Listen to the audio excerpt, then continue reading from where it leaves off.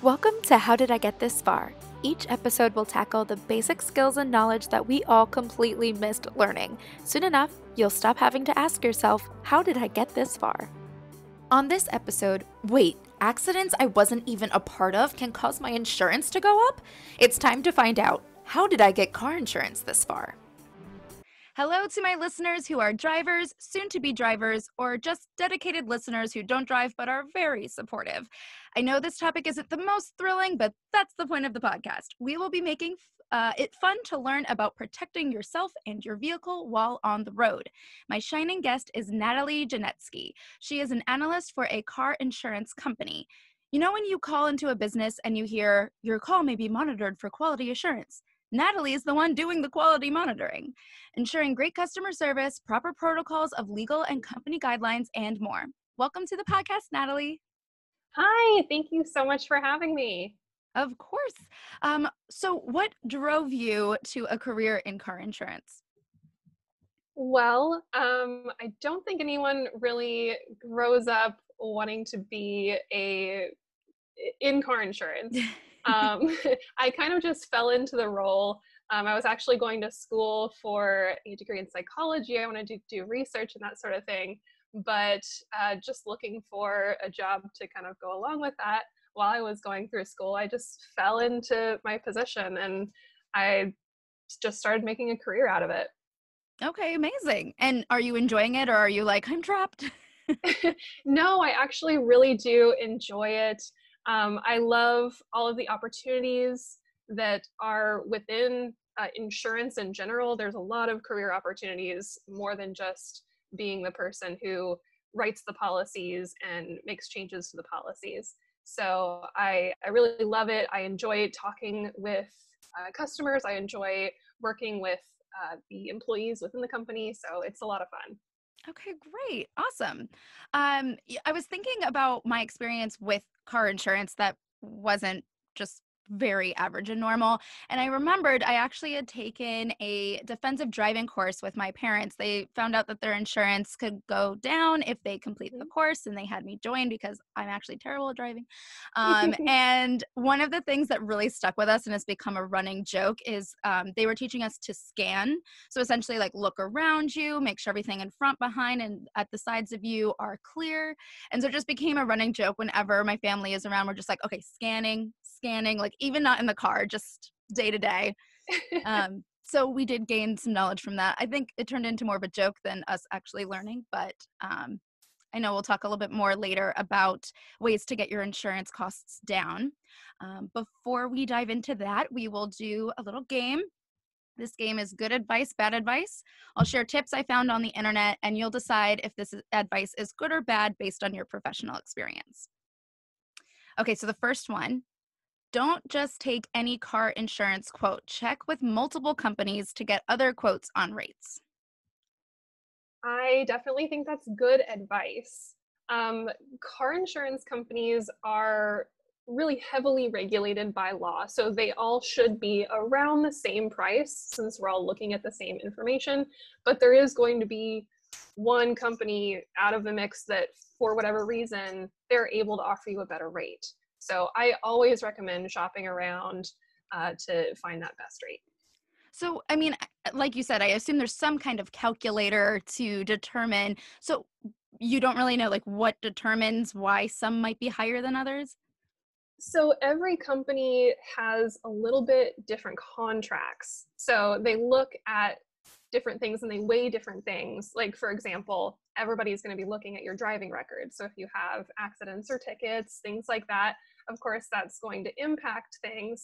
But people or companies also um, weigh where you live differently. Some companies look at that as a heavier weight, um, and some companies don't look at that as big of an impact when creating that insurance rate. So it just really goes down to those things and how they how they weigh those what we call underwriting factors. Okay, that makes a lot of sense. At first I was like someone's scamming me, but okay, that makes a little more sense. Okay, the next one. Insurance plans are cheaper when there are more cars on the same policy, so it is better to make a big plan with friends or family members and everyone just pay that one person back. So, um it's a little bit of yes and no. Yes, you typically do get a multi car discount when you're uh, having multiple people on the same policy. But typically, those policies do have to be uh, written for vehicles kept at the same address. So you ah. can't just have your neighbor down the road get on your policy and they just pay you back. That doesn't really help um, and won't properly cover your neighbor. But um, if you do have like a family of four and there's four vehicles in the household, all four of those can be on the same policy. Okay, so within the home, got it. Yes. All right, the next one. For lower car insurance, get a smaller car. Larger car, larger cars like SUVs cost more than smaller cars. So that is true uh, for the most part. Um, larger vehicles, of course, like a truck, is going to cause more damage when it gets in an accident than a, a, a sedan. So definitely that is something that is a factor in creating those insurance rates, but also sports cars, which are smaller, are going to be a little bit more expensive than your average Toyota Corolla.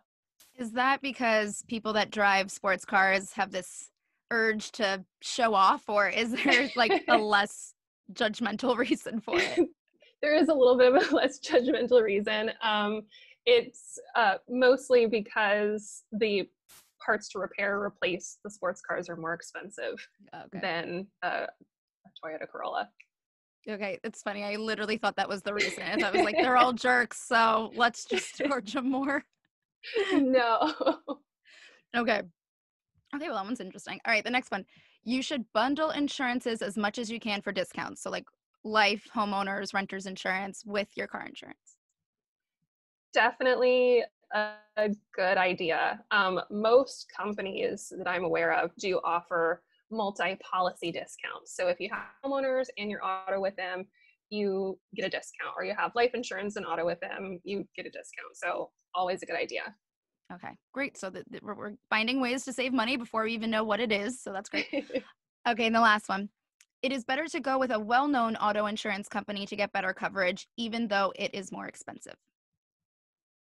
Yes, um, absolutely. So there are a handful of big insurance companies that are kind of the well known ones, you know, uh, State Farm, uh, AAA, uh, Progressive, Geico, those big ones are definitely going to be the ones that I recommend you stick to just because they have a long standing history in the country. They can prove that they are able to pay out if there is catastrophes, like when there's hurricanes and there's a lot of vehicles that are damaged from those. They've proven over the years that they are financially stable and you know no matter what going with one of those companies if you have a total loss of your vehicle, they're going to be able to pay out. Whereas some of the smaller companies that pop up um, on social media and things like that, that are just startups, they don't necessarily have a long standing history. You may be able to get car insurance for $15 a month,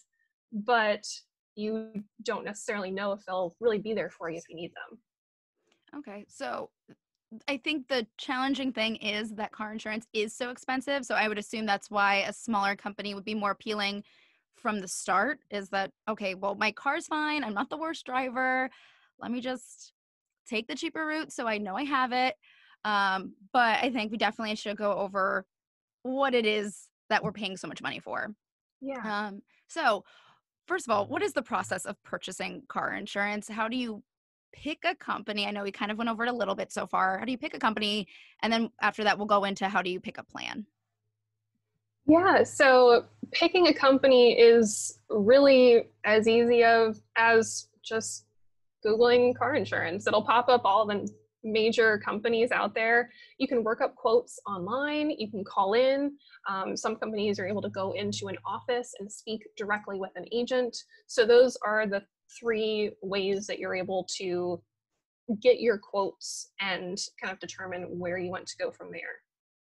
Yeah, I actually I had seen advice, uh, another piece of advice. It wasn't really um, an easy one to ask if it was true or false because it felt very um, subjective. But somebody had said another way to pick your insurance is not the company but the agent. if you really like the agent, they really seem like they want to be there for you, then the company policies, whatever, this person's going to fight for you. I don't know if that's true, but I heard that. So might play into yeah. it. I, I mean, absolutely. The companies who do have direct agents, you're going to be working that with that person for as long as you have a policy with that company. So you do want to have a, a good rapport and build mm. that. For some folks, it's not as important to have a, a single person they go to. So the companies that just offer over the phone or online services mm-hmm. are good enough. Yeah. Shout out to Michael, my car insurance agent. He's he's been good. So shout out to him. Uh, okay, so then we picked our insurance company. How do we determine the right plan for us? That's a good question. It is super subjective as to what you personally need. Um, there's really two major plans that you can get full coverage or liability. So, kind of the minimum and the maximum coverage that you can get. It just depends on if you have a vehicle that you would like to have money back if it's totaled um, in an accident or in a catastrophe, something like that or if you just are driving around an old junker and you're okay with not getting any money back, you can just go with that less expensive plan. It just is whatever works for you. So, do you still need insurance even if your car is like trash? you do. Um, insurance is legally required if you're going to be driving your vehicle in all 50 states. What is the reason behind needing car insurance? I mean, I I feel like that's a stupid question, but I also think it's a valid question because no one really knows. We all just believe that we have to have it. Because, um, you know, and then sometimes when you get in a car accident and the other person doesn't have car insurance, so somehow I guess they're getting away with it. I don't know if they get arrested or how that works. So what why is it so required? So basically they this country wants everyone to be covered as a driver because if you get in an accident, they want you to have someone who will pay up for that accident. There are very few states that allow you to take financial responsibility on yourself, and uh, you have to prove that you have the financial ability to pay out in a really expensive claim in the event there was one. But most of the time, you do have to have that insurance just because they want to make sure that people aren't just getting gypped if they get in an accident with you. Because the mm-hmm. person that gets in an accident with someone who's uninsured is really getting the short end of the stick. They're really in a in a difficult spot. Yeah. And it ends up being that the person who did have the insurance, they're the ones that paid for it, unless they find a way to be like, to hand me some cash.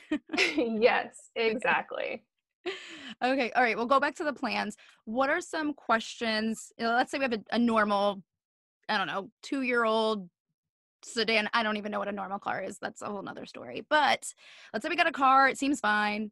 What are the questions we should be asking to determine that we're getting the right plan? So um, you will definitely want to kind of mentally note if your vehicle is financed or leased so if you have a newer vehicle and you are financing or leasing it, there are specific coverages that you're going to want because of that reason. Things that your financing company or your leasing company are actually requiring of you to carry for the duration of your loan or your lease. So those are a couple things you'll want to just mentally note about and make sure that your uh, insurance provider knows of that and the coverage that you need. Um, for the most part, your insurance agent is going to ask you all of the questions. so they're going to make sure that they set up a policy based on your needs, based on who the drivers of the vehicle are, the vehicle itself, and its specific information, how you drive the vehicle, and the coverage you want on it. So those are going to be some of the major questions that they ask you. Okay. And obviously, all of those determine the cost. So, when you say how you're driving the vehicle, I assume that means if you're doing a three hour commute to work versus you just use it to go to the grocery store or like something really simple like that. Is that kind of what they're asking?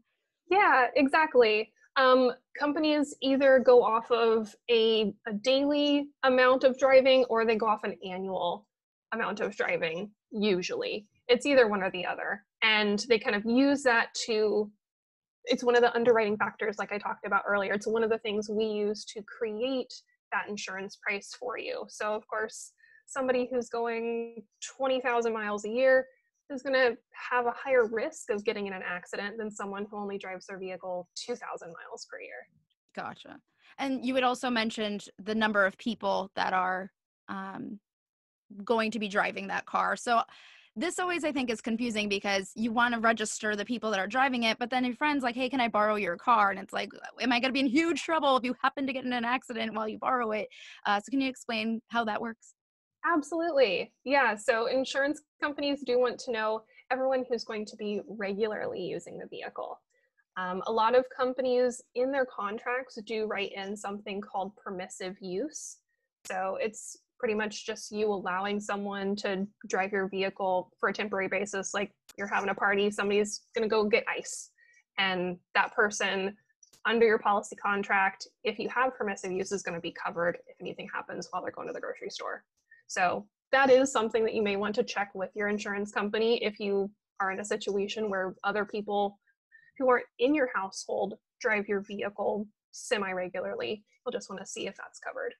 Okay, so going back to this ice example, if it's a one time request, should I be calling my insurance like, hey, I just need a quick add on policy for like 24 hours? So the nice thing is uh, with permissive use, you don't need to add anything to your policy. Um, it may be something you check when you're initially creating your insurance uh, policy with your agent. If it's just going to be a one time thing and you're not sure, I would just double check because worst case scenario, it's not covered and then you have to front the bill if there is an accident. So those sorts of things, I always recommend checking with your agent. Okay. Check with your agent, people. Okay. Or just get your ice delivered. All right, cool. Well, let's move on. Uh, okay.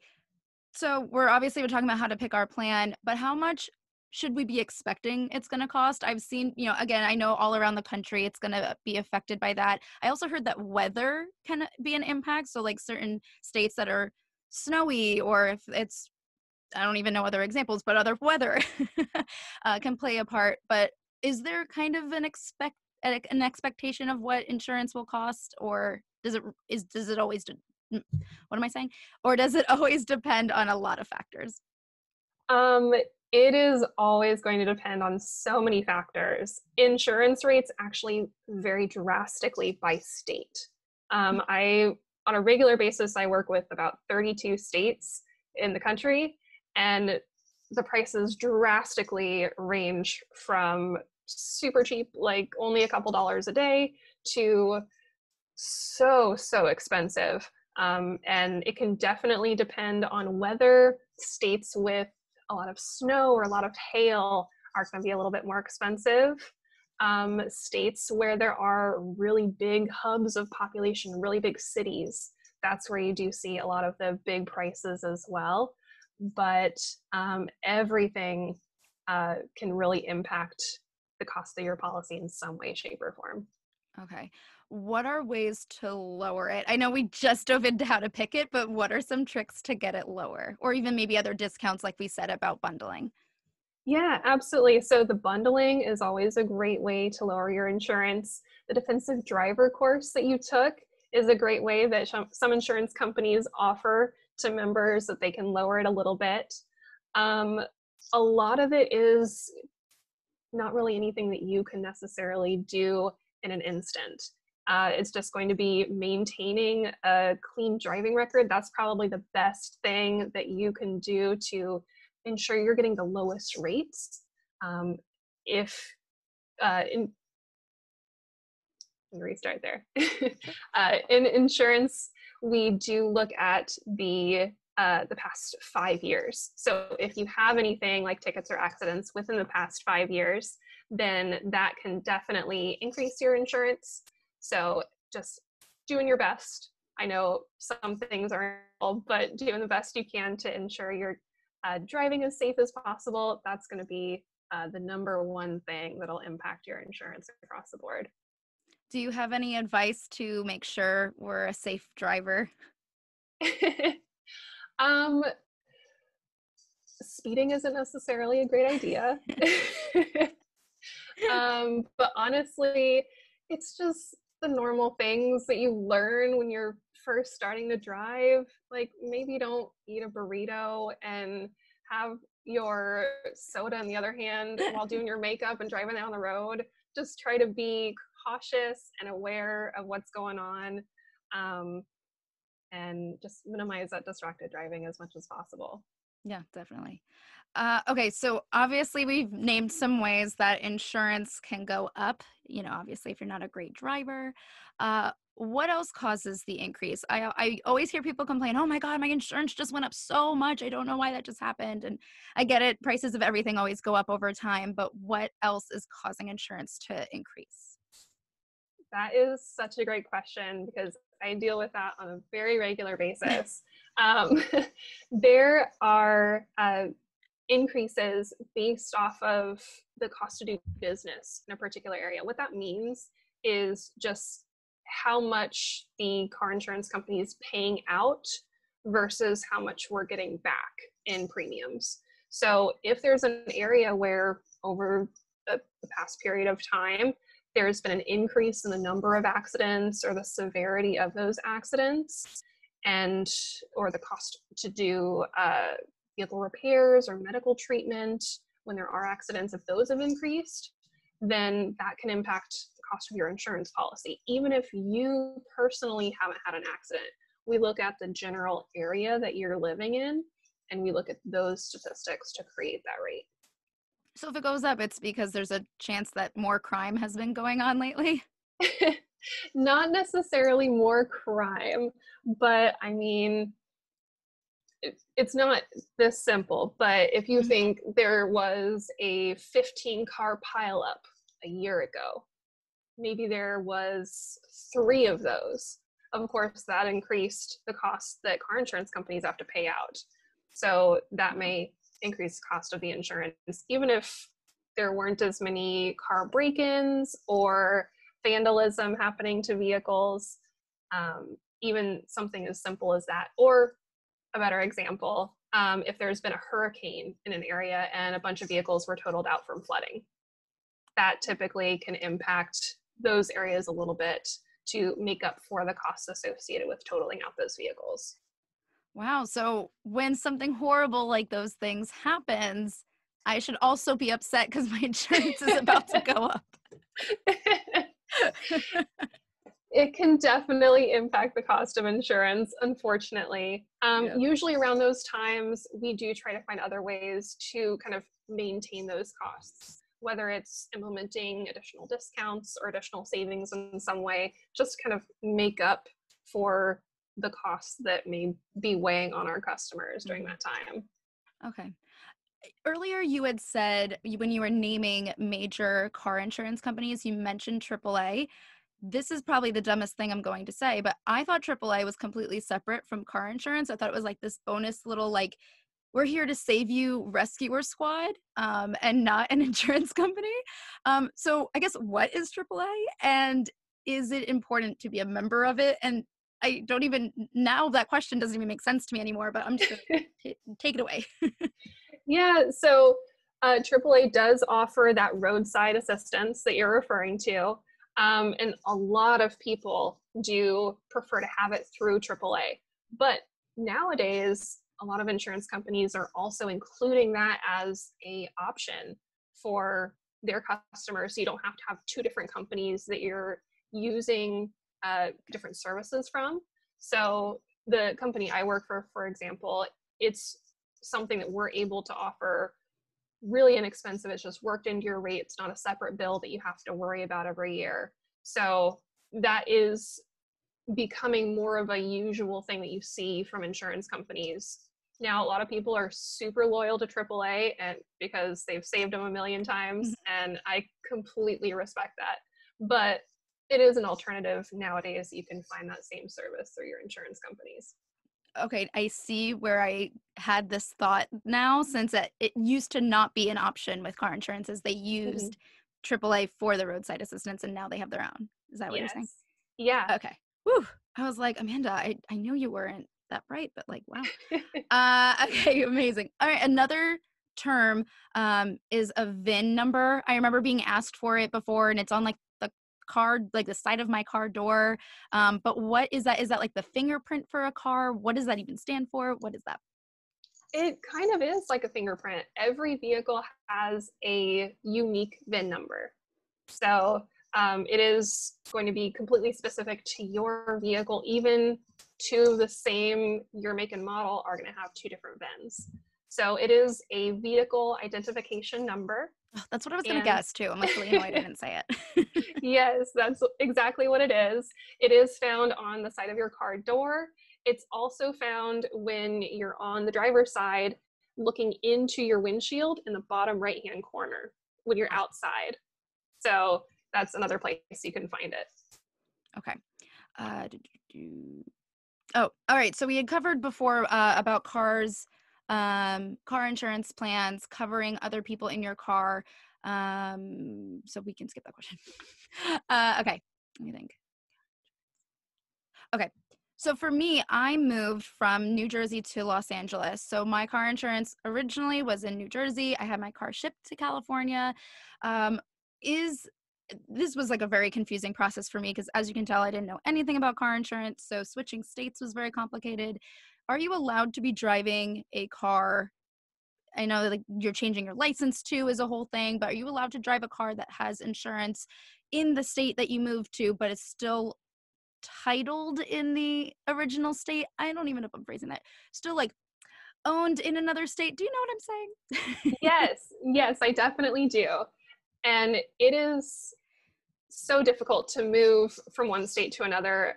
Among other things, like you mentioned, the licenses, uh, the potential registration, the insurance are all things that you have to worry about on top of just getting yourself from one state to another. so props to you. I know that's super hard. Um, in terms of insurance and registration purposes, there are some cases where you are able to maintain your registration in your home state and still drive your car in the state you're living in now. But most of those times, that's because you're in that new state on a temporary basis. If you're planning to permanently move from one state to another, you definitely do want to change registration to your new state and change your insurance to your new state. Got it. Which is, of course, what I did. So. yes, of course. okay, uh, we're gonna move to some other um, uh-ohs, I guess we can call them. Um, what is a deductible? I, I think we all kind of know that that's the money you pay first before your insurance starts paying. Um, but if you have a better way of explaining that, and um, is it better ever to handle an accident on your own and not make your insurance go up, or should you always be contacting your insurance company? That is such a good question. Um, so you're absolutely right about the deductible. The deductible is what you're going to pay out of pocket first before insurance is going to be able to cover the rest of the damages. Now, a lot of people do choose to have lower deductibles so that they don't have to pay as much out of pocket. But there are some folks that are more financially stable and they're able to uh, carry those larger deductibles. So they choose to have lower cost of insurance with a higher deductible that they pay out of pocket if they do have an accident. So, what, um, um what was I going to say? Why why do we have to pay um if we're paying for insurance? like why why do we also still have to pay? Like I get it's a lot less, but like it's still a lot. so there are um you are able to have a zero dollar deductible in some cases but that just means that your cost of insurance is higher. So right. it's basically it's a way that you can you can have control over lowering your insurance mm-hmm. basically. Mm-hmm. So you can choose to pay something out of pocket if you would like to have a lower cost or you can have a zero dollar deductible not have to worry about paying anything but you are paying a little bit higher in premiums okay did you want to say anything else about paying like on the side versus in, with your insurance? Yes, yes. So really I would only recommend paying for an accident out of your own pocket and not contacting your insurance if the damage is going to be below the cost of your deductible. So let's say you have a $2,000 deductible, the damage is only going to be $800. You might as well pay for it out of pocket and because your insurance company is going to deny it anyways. Mm-hmm. The reason why I don't recommend paying out of pocket for things like that is there is a lot of risk of someone committing fraud for someone to say, oh, yeah, I have $5,000 worth of damage, when really they only have $1,000. And then you're fronting the bill for whatever they say since you don't have anyone backing you up, which is also a benefit of having insurance because we're going to back you up in the event of an accident or another claim. Got it. Is that the same for, let's say, you know, your car window is broken into? I'm assuming the cost of a window is less than most deductibles. So is, is that kind of the same case? Yeah. So a lot of people do choose to have specifically for that glass coverage, which a lot of the time is covered under comprehensive. Um, they, they choose to have that deductible a lot lower than their collision deductible, which is for accidents. So that's a way where they can still have the insurance company pay for it. It's a lot less expensive for comprehensive than it is for collision. And so it doesn't impact the premium as much. And they're able to kind of save money both ways. Okay. Um, can you just again go over comprehensive? yes. So much like the name, it covers a lot. So it covers basic things like theft, vandalism, natural disasters, live animal damage, and glass damage, among other things, but those are the major ones. And then collision is pretty, pretty self explanatory. It covers when you're in an accident or you collide with another object. Okay. All right. That that makes sense. I don't know why I thought it was way more complicated than that. I think it's comprehensive is like an intimidating word, but okay, I have one more question. I think this one's a really interesting one, so I saved it for last. Is it true that men pay more for car insurance than women? I've heard it's been debunked that red cars have to pay more in car insurance than any other color, but what about the men versus women? Great question. Um, I can't speak for all companies, just the one that I've worked for but we do not charge a different rate male versus female at all. We do take note of that just so we have it on the record, but it isn't something that impacts the rate. And you're absolutely right. The red versus any other color is totally debunked. My company doesn't even write down the color of your vehicle, it doesn't matter. So um, yeah, those two things are not something that we use in our underwriting factors any longer. Okay. Are there any other underlying factors we might not know about that might be interesting? Um, let me think.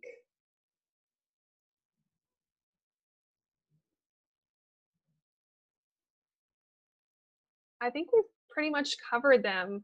Uh, yeah a lot of them just have to do with where you're living, the the weather, the road conditions, um, the the claims that are filed in that area.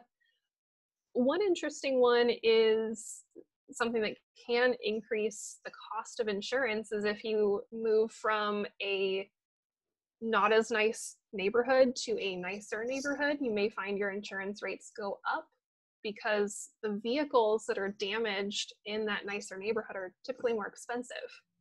And so? Yes, if our claims are more expensive in that area than in your left your less nicer area, then that can actually cause an increase. A lot of people think it's the other way around because there there may be less crime involved. Right. But when there are accidents or claims, you have Teslas, Mercedes, Lexus, those vehicles are getting damaged than Corollas and Hyundais and things like that. Nothing's so, wrong with those cars, by the way. No, no. My first car was a Toyota. I loved it. She was my baby. Nothing wrong with them. my Chevy Cobalt was my baby. Oh, yes. Courtney. okay, that is really interesting. Okay, well, that is awesome. I think that's a great start for learning about car insurance. I think it was very intimidating to uh, touch this topic because it initially was very boring to me and to be very honest about it so i'm really impressed that you have pursued a career with it. Um, your energy has made this a lot more interesting than i expected so thank you. For those who have more questions about car insurance or just really enjoyed talking to you or hearing from you what are ways that people can continue to connect with you? Um, i do have instagram. It's going to be my name uh, Natali uh, n-a-t-a-l-i underscore my last name, Janetske, which is J A N E T S K E. Um, you can find me on there. Feel free to shoot me a message if you do have more questions about insurance. I'm always happy to share because it is a really daunting subject and I would love everyone to be more comfortable with it. Definitely. I hope this interview lowers other people's um, fears um, as well as premiums uh, when it comes to car insurance. Um, until then, everyone, please drive safe or um, I guess just walk. Um, but we will see you next time. If there is a basic task or aspect of life that you cannot grasp, or if you want to learn more about this topic, email howdidigetthisfar at gmail.com and tag at How Did I Get This Far Pod on Instagram with your helpful hacks. Finally, please give the podcast a rating and review so the show can continue tackling more struggles. But that's as far as we will get for now. I'm Amanda Ogen. Thanks for listening.